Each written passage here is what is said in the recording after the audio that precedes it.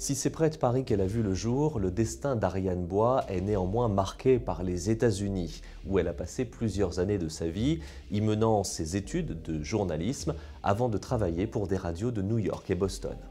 De retour en France, on la retrouve grand reporter pendant 25 ans pour le groupe Marie-Claire, avant qu'elle ne devienne elle-même critique littéraire pour les mensuels Avantage et Psychologie.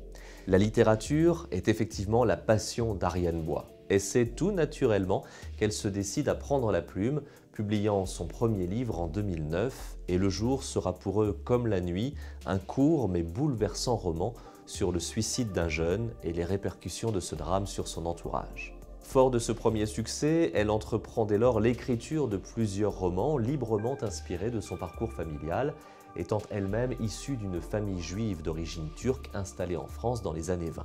Le monde d'Anna, Sans oublier et Le gardien de nos frères sont des livres dont la lecture marque durablement. La qualité d'écriture d'Ariane Bois se confirme dans ses titres suivants.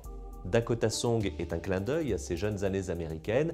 Elle y raconte l'histoire du mythique Dakota Building dans lequel vécurent plusieurs grandes personnalités.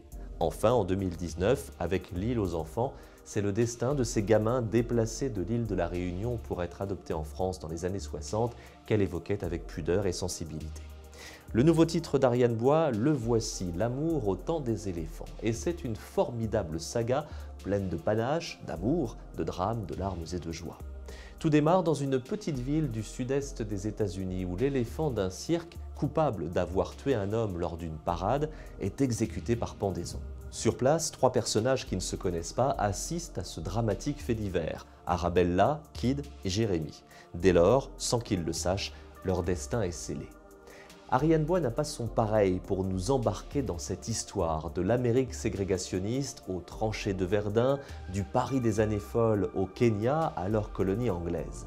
Donnant vie à des personnages à la psychologie fouillée, embarqués par le vent de l'histoire, les faisant évoluer dans des décors et des ambiances savamment imagées, créant une intrigue allant crescendo, ce roman est une véritable réussite qui vous tiendra en haleine de la première à la dernière page. Une ode à la liberté, celle des hommes, celle des animaux, portée par une belle écriture exigeante et romanesque.